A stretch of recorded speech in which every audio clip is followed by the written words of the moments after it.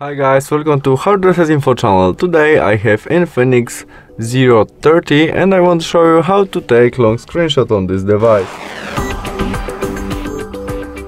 Our first step to take long screenshot is opening application which support it, something what have more information than you have on the one size of screen, maybe in the settings.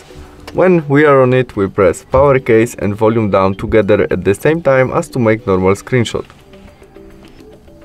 and after that we press this icon.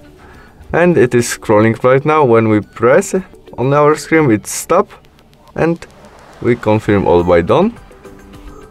And there we have our long screenshot which we can easily change in our gallery by this icon. And we have it. See you soon. Bye